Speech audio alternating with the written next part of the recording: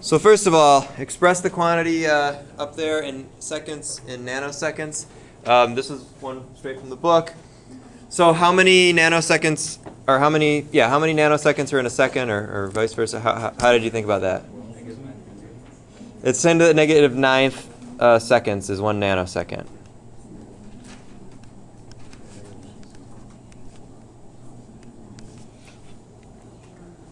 All right. So uh, remember, yeah, and, and so if you didn't know that, please please make sure to learn those metric prefixes, both the small ones and the big ones, um, as many as you can, but, but try to get them pretty small because we're dealing with pretty so- small stuff. All right, so if that's the case, then you can do this just as a regular conversion, or you can kind of just do it in your head if you if you're good with moving the decimal around in scientific notation. But let's actually write it out. So this is going to be 556.2 times 10 to the negative 12 seconds times 1 nanosecond per 10 to the negative ninth seconds. So if you divide now 10 to the negative 12th divided by 10 to the negative ninth means you subtract the exponents. So that's going to leave us with 556.2 times 10 to the negative 3 nanoseconds. All right.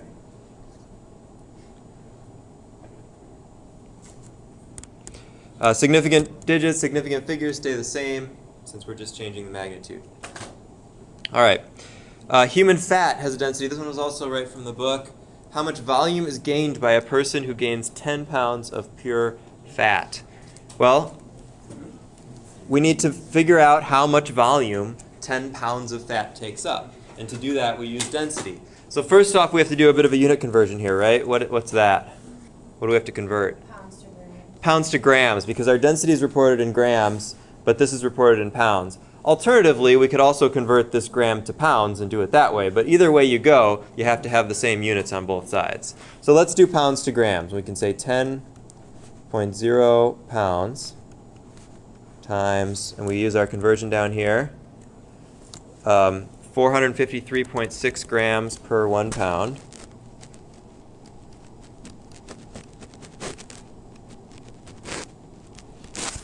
Okay, uh, we'll multiply that together and get 400 and 4,540 grams.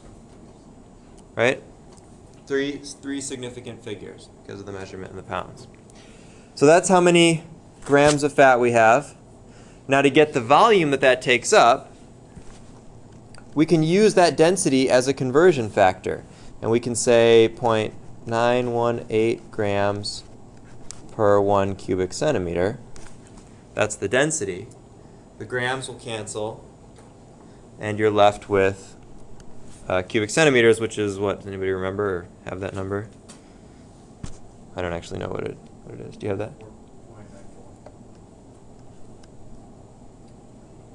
Mm, that can't be right. 4.94 times. Okay, okay.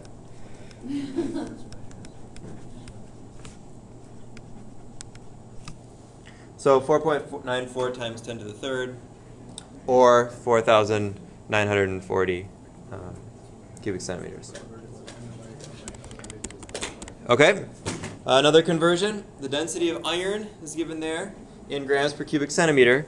What is its density in pounds per cubic inch? So this is a straight ahead conversion where you set up the different things. Um, 7.86 grams per one cubic centimeter. And it doesn't matter which order you do this in. But one thing you're going to have to do is convert cubic centimeters to cubic inches. That factor is not given, so how do you do that? Yeah, you have to actually cube these. So if one inch equals 2.540 centimeters, you can't say that one cubic inch equals 2.540 cubic centimeters. You have to actually cube it. So 2.540 centimeters cubed equals, can anybody punch that out real quick? What is it? Sixteen point, uh, we'll say three nine cubic centimeters. So one cubic inch is 16.39 cubic centimeters. So we'll use that conversion next. We'll say 16.39 cubic centimeters in one cubic inch. All right, so that takes care of our cubic centimeters. And then we need one more factor to convert the grams to pounds, we, as we just did. So we've got 453.6 grams per one pound. And we're going to report that number with three significant figures. Um, does anybody have that or want to punch that out quickly for me?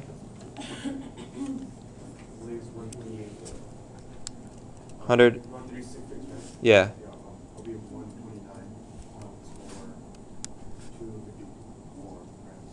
Okay, do that. Uh, so 129 pounds over 254.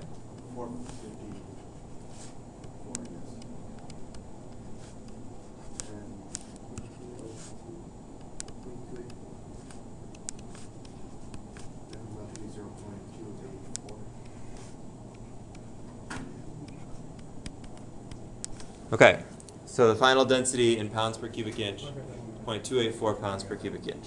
Well, that's not one twenty-nine. Oh, this isn't right? Seven point eight four two. 127.842. Seven point eight six times sixteen Okay. point three nine. Let's get that right. Okay, so it's one twenty-eight point eight. Yeah, so 129 with significant figures. So we're just rounding? Oh, I didn't- Because you can only use three significant figures in that in that calculation. Can we just round it like at the very end, just to like. Yes, We can round it then? you can round at the end. Okay. Is that like doing something like that? And I think it gets you at least within the error, right? Yeah, Because it's- if you're within plus or minus one of the last digit, you're always okay. Okay, cause I, I rounded the end. Yeah. Yeah, that should be fine. Um, oh yeah, by the way, speaking of that, when you're doing your mastering chemistry stuff online, which I've, saw, I've seen a lot of people uh, get started with, so that's great, um, especially getting into chapter one and chapter two stuff, they're fairly lenient about significant figures, but it's the same kind of rule. If you're off by more than one or two of that last digit, it'll usually, it might not count it right. If you're within it, it'll say you're right, but you did something wrong with your significant figures or something like that. So it's pretty good about that. But if if you're having trouble, let me know. Okay, and then uh, here we have a temperature measurement to convert to Fahrenheit. So what did you call this measurement here? Anybody? Yeah, 36 point. Uh, how would you report that? Thirty-six point six zero. 36.60, yeah. That's one that would be okay. So you know for sure it's above 36, so those two digits are certain. And you know 6 because that's the gradation. The gradations are always certain. You can always be certain whether or not it's past a line. It's that then you estimate one more digit, and that's the last significant figure. So this should be reported with four significant digits. Um, now, if you said it was 36.59 or 36.62 or whatever you estimated that last one to be, that's fine. That's your estimation. But make sure you have four significant figures in this measurement. Um, If you did three, only you did, right? what? If you did that as thirty-six point six, you'd only use three, right? Yeah, but you'd be wrong. It's important to always take your measurement with as many significant figures as the tool that you're using allows you to. I mean, the rest of your stuff will, will be right, but that part of it is, is yeah. Okay, and then how do you convert it to Fahrenheit? Nine fifths times that plus thirty.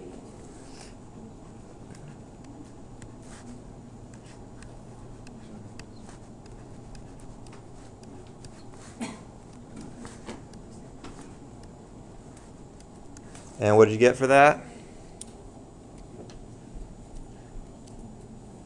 Ninety-seven point eight. 97 point. Yeah, and make sure that that number is also reported in the appropriate, um, with the appro- appropriate precision. All right, question? Good first quiz? Decent? Maybe? All right. Well, this kind of gives you an idea of what we're going to be looking at um, in future weeks with future quizzes. They won't always be straight out of the book, but they'll always be very similar to the problems from the book. So if you're doing all the problems per chapter, um, you should be in good shape. Here, you'll notice in notes number two, it's kind of the story. The story of the early history of chemistry, the fundamental laws that were discovered that kind of led to the atom and the proton and the neutron and electron, all that stuff. Um, I think it's fascinating, and you have a lot of real genius expressed here. Um, but I'm not sure that it's worth me just standing here and telling you about it. I think it's the sort of thing you can read, you can watch a video on, you can think about, or you can just ignore if you don't really care. Um, so I'm gonna, as I promised, I'm gonna try to tie this more to how will I ask you about this? What will I want you to master when we talk about these things? All right. So first, I am going to tell you about these three laws, but then we're going to look at some specific problems that incorporate these ideas. Law of conservation of mass. Um, this this seems pretty much, actually all of these will seem pretty much uh, intuitive and like common sense now because they've been with us for so long. But when these came out, these things were absolutely, um, you know, earth-shaking, revolutionary ideas that got people killed and in trouble and um, yeah, all that kind of stuff. So saying that in a chemical process, mass is neither created nor destroyed. Makes sense, right? You do a chemical reaction in a closed vessel, nothing gets out, so it all must still be in there somehow. But if you were a uh, pre 1789 type person, how might you be fooled into thinking that mass is not conserved? Give me an example of a chemical process where it doesn't seem like the mass might be conserved. Yeah, burning and uh, evapor- evaporation are good examples. Pretty much anytime something becomes an invisible gas, people pretty much assumed it didn't exist anymore. So you burned wood, the wood became energy, and that and, and the wood itself, the matter actually disappeared. You just had the heat from the fire. You uh, left water out on the table, and it evaporated over a day because it was gone and it didn't exist anymore. Right until I don't know. I don't know if they knew about rain and stuff then. I don't know the history of those earth sciences. But so discovering through like weighing the products of these reactions that this actually didn't happen was a huge, uh, huge change. Um, all right. So the way we're going to use that, we're not going to do it right now. But when we start talking about chemical equations, this is why it's important to balance equations. This is why it's important to check yourself when you do uh, chemical equation calculations to make sure that you end up with as much stuff as you started with. Because if that's not the case, then something went wrong because you can't just make stuff disappear. Uh, and similarly, you can't just create mass. Um, so that'll come in uh, as uh, in the next chapter when we talk about uh, chemical equations. I guess it's in this chapter, just a little bit later.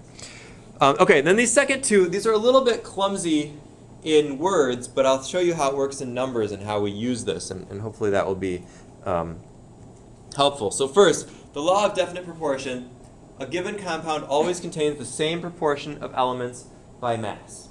Does anybody want to try to tell me what that means? What, what, is, what do you mean that a compound contains the same proportion of elements by mass? That even though you have more, it's still the same ratio, like, is that Yeah. what it's saying? Okay, yeah. Like the ratio doesn't change?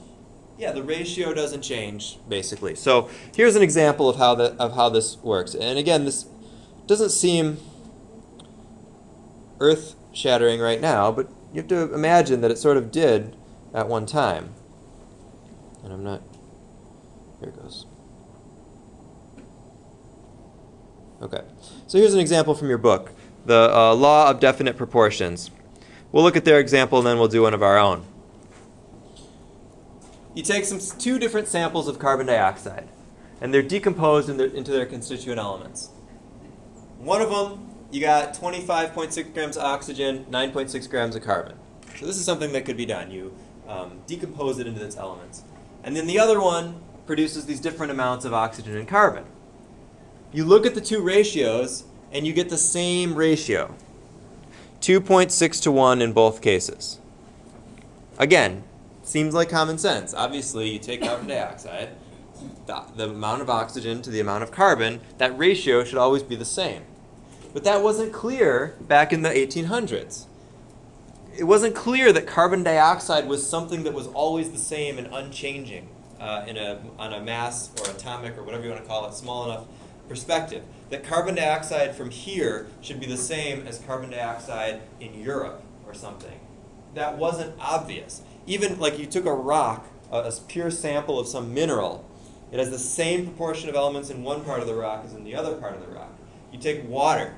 Water has the same proportion of hydrogen and oxygen all around it. It's not like it has a hydrogen rich part on the surface and an oxygen rich part underneath. So that was kind of a new thing. And the reason that it's important is that it proved that it proved the existence of compounds. That there were these things that were so um, tightly bound or tightly controlled that they were the same all throughout, as opposed to something like alloys or minerals where that might not be the case. And then the next big step to discovering atoms is called the law of multiple proportions, which said that uh, when you have a series of compounds, and this is really the big thing that kind of proved, or not proved, but, but led the way to talking about atoms. When you have a series of compounds of, say, nitrogen and oxygen, the ratios of the masses, so the ratios that we just calculated from number two, will always be different by whole number increments. So this one I think takes some examples to figure out. So let's whoops, let's say we have two samples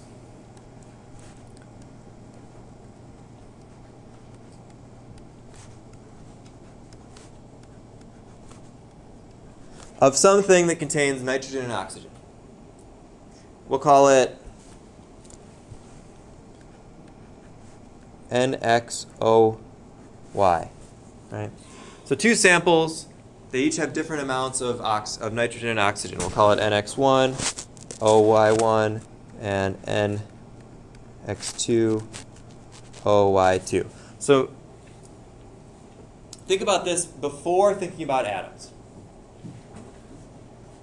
Now, now that we know about atoms and formulas, we know that you can only have whole numbers for x and y, right?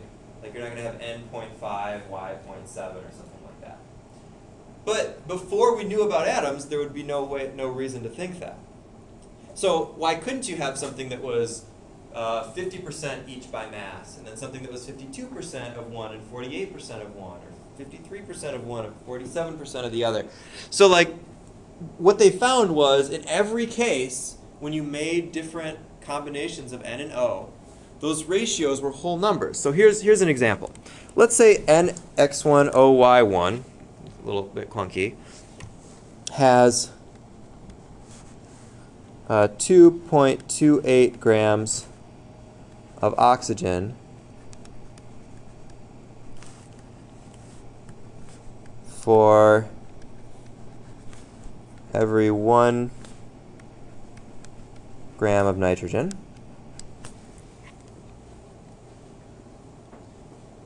And then let's say number two here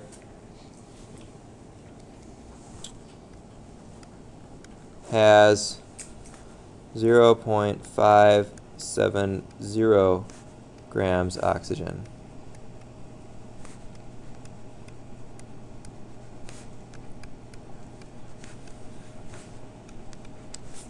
All right.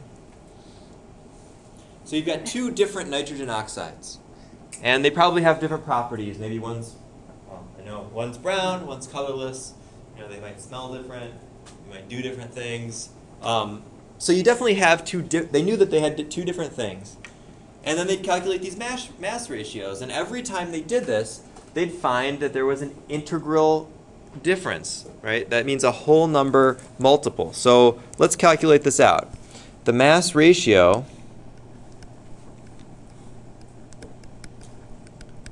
is 2.28 grams of oxygen per 1 gram of nitrogen uh, equals 2.28.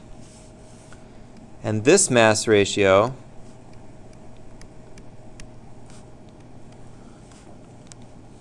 is going to be 0.570 grams of oxygen per 1 gram of nitrogen, which is 0.570.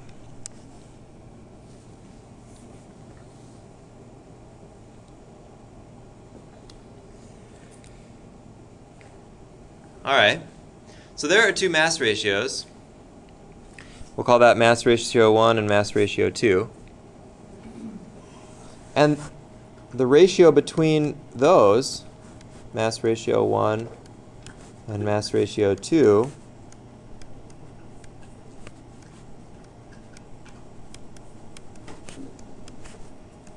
is a whole number.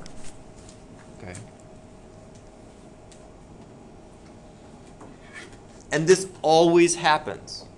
Every possible compound of nitrogen and oxygen, you can do this kind of comparison from the masses, and you end up with a whole number. And so what this said was that there's something about counting going on here. It's not just about masses. There's actually a smallest piece. And you can't get smaller than that because if you could get smaller than that, then you could have fractional amounts. And since we only get whole numbers, there must be a smallest piece. And that smallest piece we now call the atom. So let's look at these compounds now um, and, and show what they actually are. So NX1 OY1, if you calculate these masses out, um, is actually NO2 and NX2 OY2 equals is N2O or nitrous oxide. So nitrogen dioxide and nitrous oxide. And so where that 4 comes in is there's four times as many oxygen atoms per nitrogen in NO2 as there is in N2O. So that's that ratio. But without knowing that there was the smallest piece, um, you wouldn't be able to, to come up with that. Right? So that's kind of what proved that there's the smallest thing. Um, and then we go through and we talk about the atom, the basic um, atomic theory. There's these tiny particles. They get combined in different ways through chemical reactions. Like I said, I'm not going to go through this whole history. You can look at it. Um, and so then there were some various experiments to characterize atoms and the parts of the atoms. Here's an experiment that showed how an electron was first identified. Um, has anybody ever heard of a cathode ray tube? Seen those? It's basically a TV uh, or an old monitor. You know the thing with like the big fat ones that, that they used to have. What that is is it's shooting electrons at a screen that when the electron hits the screen it glows, and that's what gave the light. So it, it was called a cathode ray because they thought it was a ray like light, didn't think it was an actual particle. But what um, what was discovered here in the around just the end of last century uh, was Thomson's experiment with a cathode ray tube, where he would put a magnet around it and an electric field, and found that both a magnet and an electric field would bend this ray. And no other light ray can be bent by an electric field or uh, a magnet, right? They just go straight through. So the fact that this bent meant that it was actually something negatively charged, not just uh, light and that kind of led to the led to the development of that it was an electron. So they, they figured out the charge to mass ratio. Um, this other oil drop experiment, um, how, it was how we figured out the mass of the electron. You can read about that if you're interested. We'll talk about radiation in a bit. Okay, let's look at the final experiment that kind of tells us the structure of the atom. Because once all those particles were kind of figured out, the idea was that um, you had this thing called a plum pudding model, where I'm going to talk about this experiment, but just look at those those spheres first. The idea was you had kind of um, everything mixed up in the atom. You had a, a positive mass, a positive thing, right? And then the electrons were kind of all distributed through there. And that was what was thought was what an atom was. Everything was basically distributed through evenly. What this experiment showed was what we now know of atomic structure, where you have a nucleus in the middle with concentrated positive charge, and then electrons pretty far away um, on the outside of that, relatively far away. And the experiment was to shoot a beam of alpha particles, which are helium nuclei, through a piece of gold foil. Now, if that were the structure of the atom, you would expect them to just kind of go through. Because they were big, heavy particles compared to these things. And you would expect they would just either go through the, the gold foil or maybe get displaced a little bit. But instead, they saw something crazy. They saw deflections almost straight back. They saw huge bends uh, in various directions. And that showed that those positive charges were interacting with other very dense positive regions. And that proved that you actually have a nucleus where the charge, the positive charge is dense and in the center rather than dispersed through the whole atom. So that's the idea there.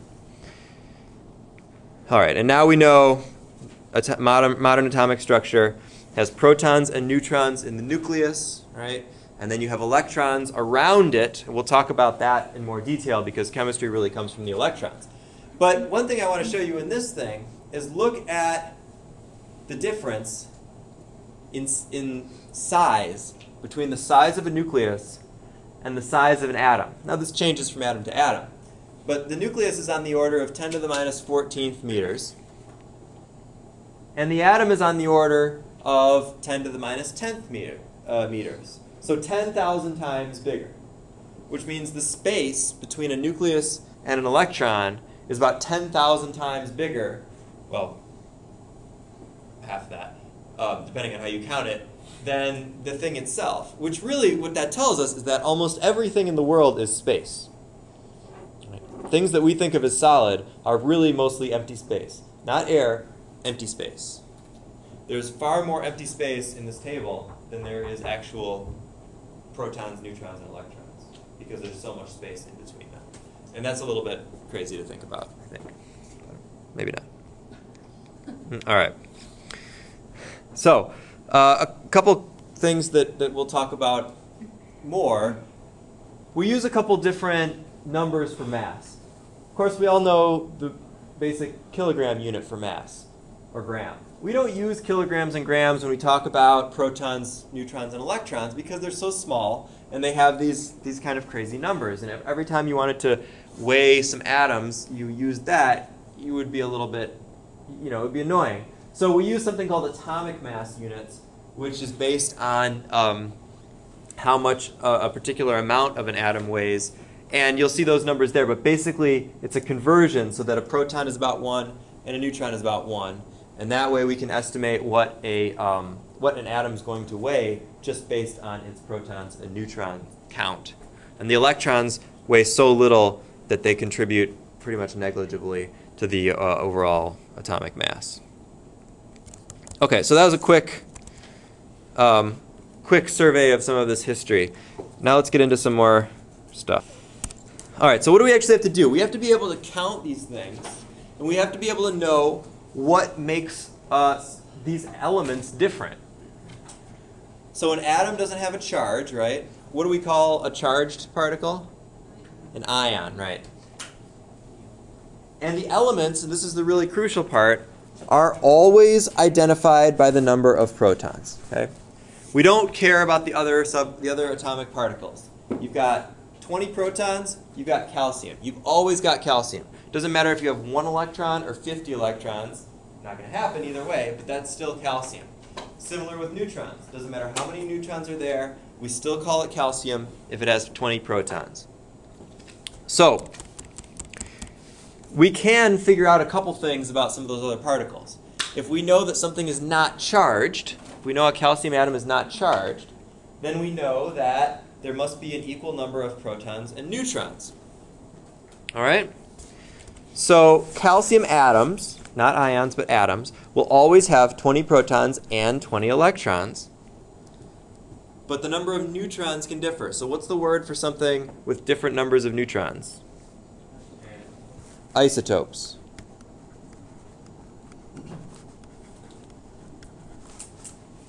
Isotopes of calcium would be atoms that had 20 electrons and 20 protons, but maybe 40 neutrons, or 41 neutrons, or 42 neutrons, uh, sorry, 20 neutrons, 21 neutrons, or 22 neutrons, something like that. And the way that we express these is either like this or like this, which specifies how many neutrons, well, it specifies how many protons are there in the first case, but then it also tells you how many neutrons are there because it has to add up to the overall uh, mass. So if it's calcium 40, that means you have 20 protons and 20 neutrons. So this would be 20 protons and 20 neutrons. So the forty is the mass number? The 40 is the mass number, not the number of uh, neutrons, which is the, the sum of the two. So you, to find, uh, neutrons, you just subtract top from, or bottom from top? Right. Okay. And often it's actually, often it's, it can be written like this also, because that bottom number is really redundant, right? Saying that it's got 20 protons and that it's calcium is saying the same thing, because the element is identified by the number of protons that it has. So if we said this, you could do the same thing. You just have to look it up on a periodic table to find the 20, because you find calcium, Ca, you know that's 20. Subtract 40 for 20, from 20, you've got 20 neutrons. Some terms for that. Atomic number is the number of protons, is, known, is also known as the Z number. That's the identifying number, the, which on the periodic table is always in blue on the upper, not always, is, on that periodic table is in blue on the upper right hand corner. It's usually on the top of the box. And then we're going to talk about the bottom one in a second. So, one thing that we're going to see here. Um, are a couple ways that these things come together. Now, we're going to go through this in detail. I just want to give you a sense of it right now. Um, there are a couple ways that these things can bond together. What are they? There are two ways that atoms bond together covalent and ionic bonds. So those are the two types of bonds that you'll see. Um, and then we'll use formulas like this, right? We'll call that a chemical formula. Structural formula are things like this. What does that line represent? It represents a covalent bond, and we'll talk about what that means um, it later in great detail.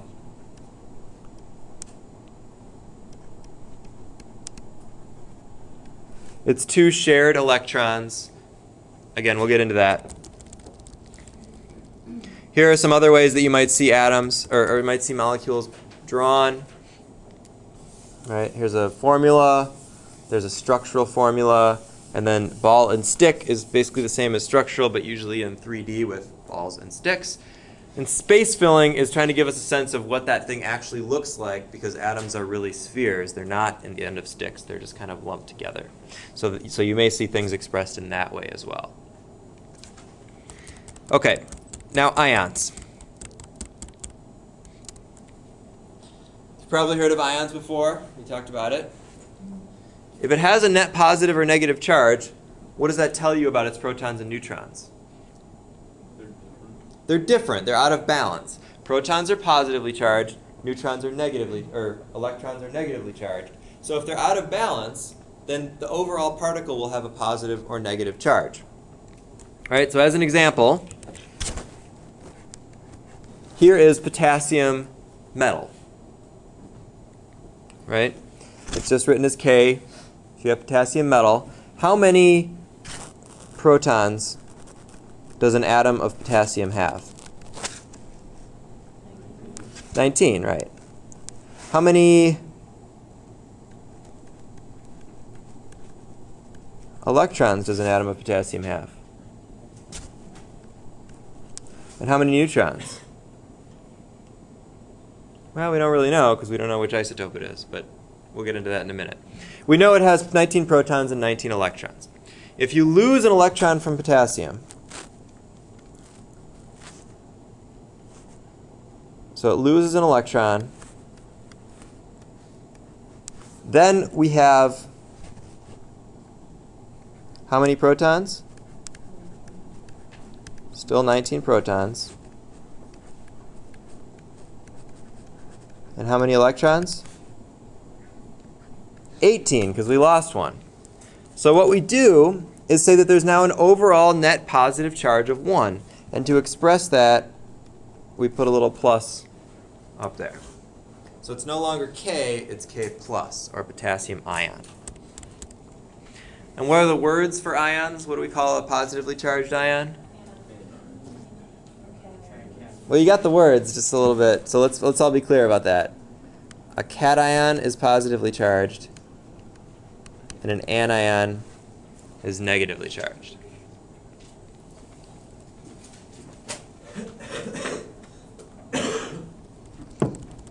And so an anion, the opposite thing happens. So you take something like chlorine, which has how many protons? 17. And how many electrons? And now we're going to add an electron to chlorine. Chlorine can absorb an electron.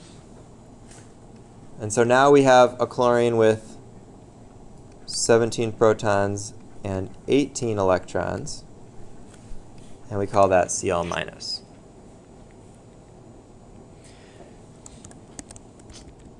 Do I have this word down here? Let me check. Oh, okay. I want to show you one term. So notice, notice what we just did. These two ions, K plus and Cl minus, both have 18 electrons. You see that? So there's a word for that. Anybody know what it means? What, what it is? You heard this word? The word is isoelectronic. So we can say K plus and Cl minus are isoelectronic. Which means they have the same number of electrons. Can two different atoms be isoelectronic? Can two different atoms be isoelectronic? Why? Or how, I guess. Which which two atoms could be isoelectronic? Neutron with either of the two. Well, what does isoelectronic mean? Same number of electrons. So can two uncharged atoms have the same number of electrons? Different ones? They can't, right? Because if you have different number of protons and the protons and electrons have to be equal, then they can't have the same number of electrons either. So only ions, and we'll talk about molecules and other stuff, but not atoms can be isoelectronic. And so let's look at the periodic table a little bit. Got a big one here going up on the wall. Let's look at the two uh, things that we just talked about. We've got potassium here, and we've got chlorine over here. Just based on nothing, except what we've just done or what you've seen in the past, can you make some generalizations about what kinds of ions might be common? Based on where they are on the periodic table?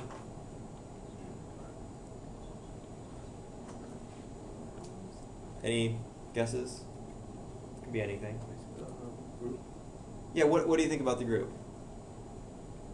forget exactly how it is, but have certain amounts of electrons or charges. Yeah, and we'll get into this in a few, uh, well, actually a while, several weeks, a few chapters.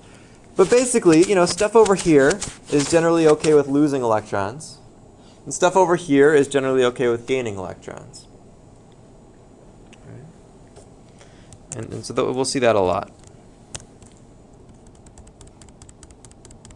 So ionic bonding comes apart comes about when you have attraction between ions electrons aren't actually shared. You just have two particles. So it's wrongly it's often wrongly written that sodium chloride is something like this. Okay, that's not right. That line, as we talked about before, indicates two shared electrons. Ionic bonds are really just attractions. We call it a bond. But what it really is, is just some negative stuff being attracted to some positive stuff and them hanging out around each other. And that's pretty much it. They don't really interact in any meaningful way the way that a covalent, um, that covalently bond atoms will.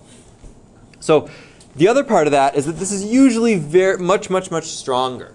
So salts which is another word for ionic compounds or ionic solids, tend to have really high melting points, be really stable, all of that.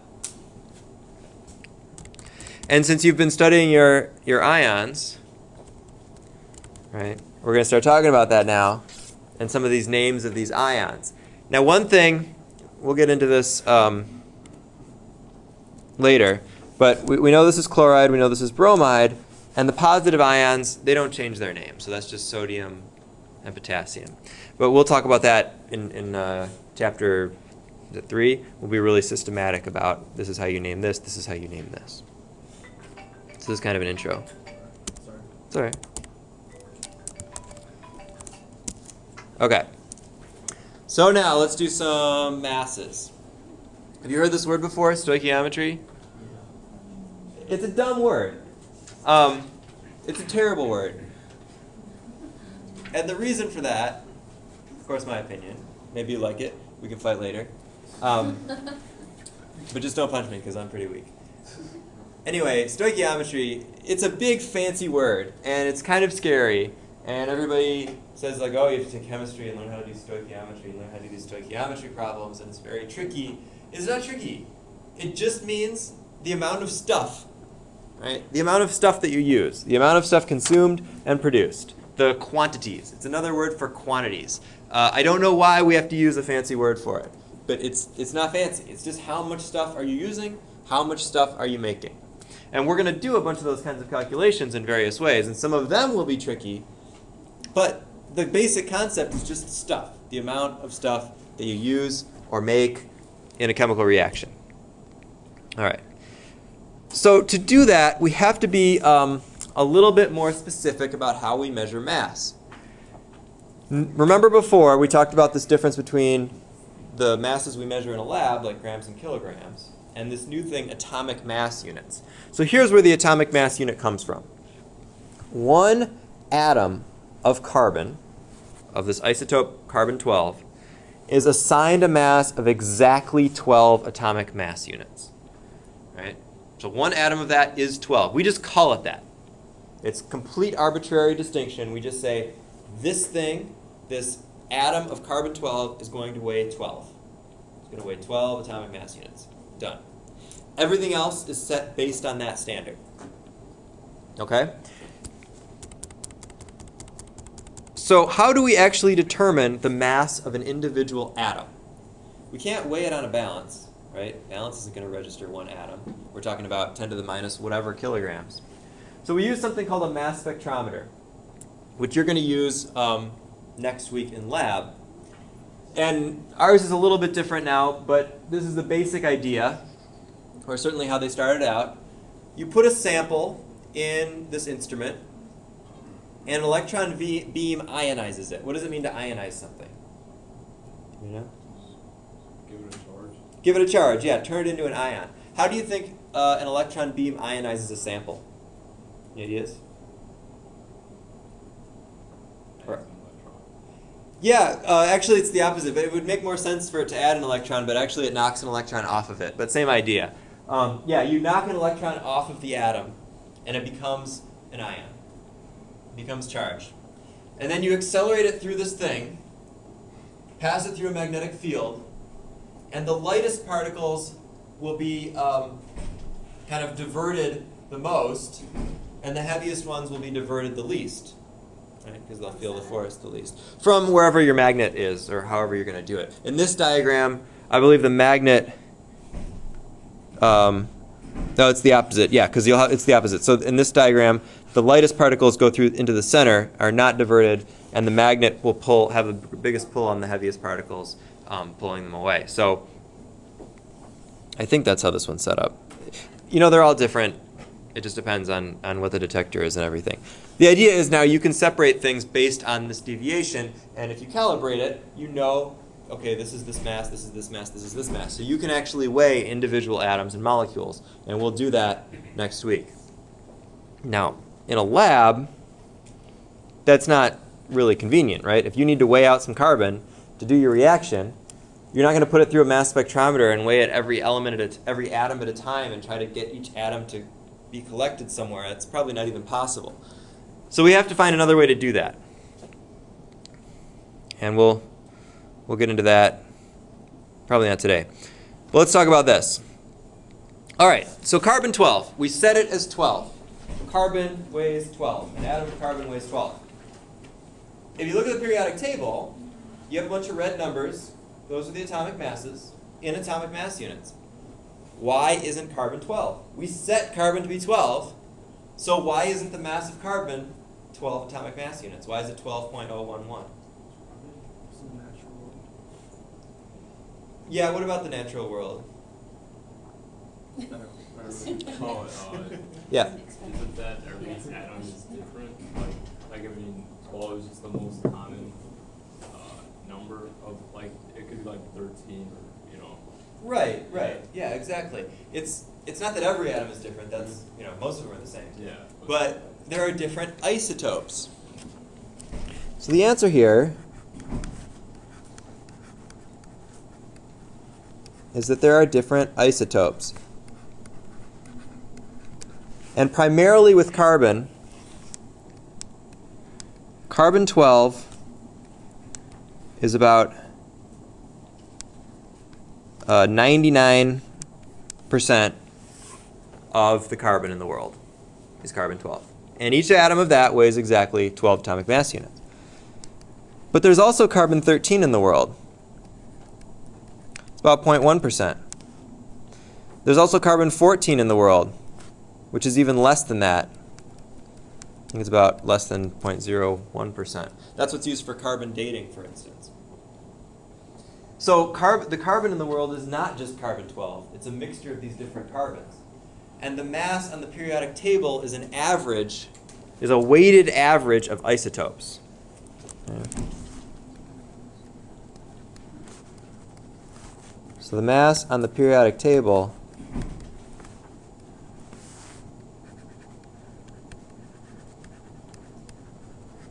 is a weighted average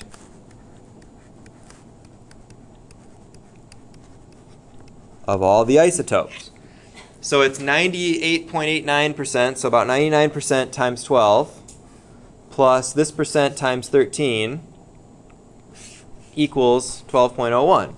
And then you can, you know, put the 14 in there and everything else. So that weighted average gives you the number on the periodic table. And this is going to be important for your lab next week. You're going to have to do this because the, the mass spectrometer actually gives you the individual isotopes.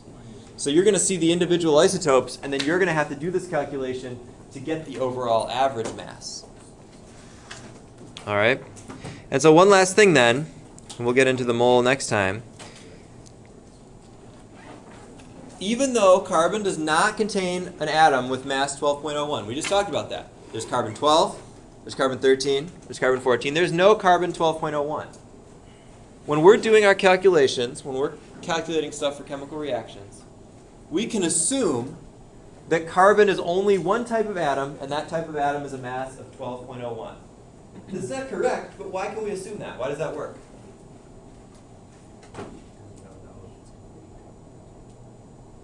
Yeah, why don't you know? You didn't measure it, like, you didn't weigh it. Well, that's true, but I mean, why?